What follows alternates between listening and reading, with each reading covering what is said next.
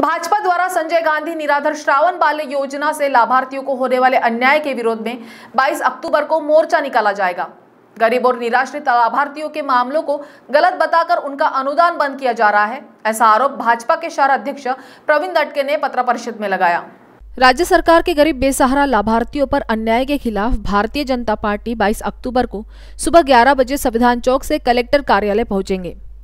इस मोर्चे में हज़ारों वंचित लाभार्थी शामिल होंगे। भारतीय जनता पार्टी के नेतृत्व वाली राज्य सरकार के कार्यकाल के दौरान संजय गांधी निराधार व श्रावण बाल योजना के लाभार्थियों को अनुदान का आवंटन हो रहा था।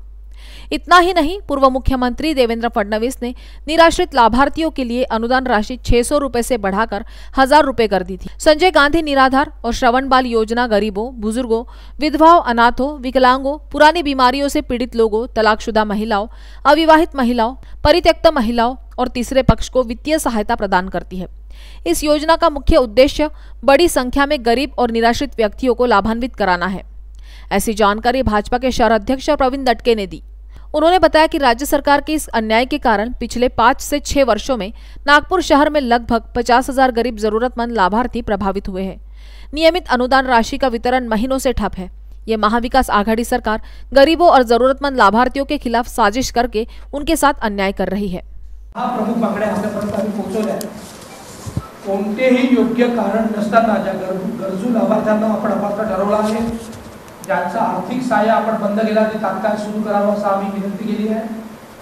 हजार हजारो पात्र लाभार्थ्यांनी थांबविण्यात आलेले थकीत अर्थसहाय्य सुरू करावे. गरीब गरजू लाभार्थ्यांना नियमित अनुदान व अर्थसहाय्य राशीचे वाटप व्हावे. प्रत्येक वर्षी एक नवीन अट आली आहे. प्रत्येक वर्षी उत्पन्नाचं प्रमाणपत्र व रहिवासी दाखला सादर करण्याची अट नवीन आली आहे ती तात्काळ रद्द करावी. संजय गांधी निराधार योजना व श्रावणबाळ योजनेच्या लाभार्थ्यांना किमान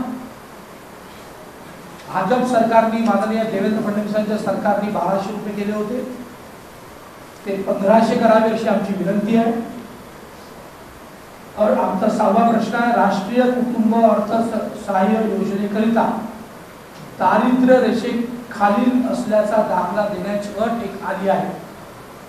ही अट पण आपण शिथिल करावी कारण एखाद्या घरचा कुटुंब प्रमुख गेला तर त्या घरावर दुःखाचा डोंगर कोसळतो आणि श्रावणबाळ योजनेतनं किंवा संजय गांधी निराधार योजनेत त्याला दहा हजार रुपये मिळण्याची पहिले सुविधा होती.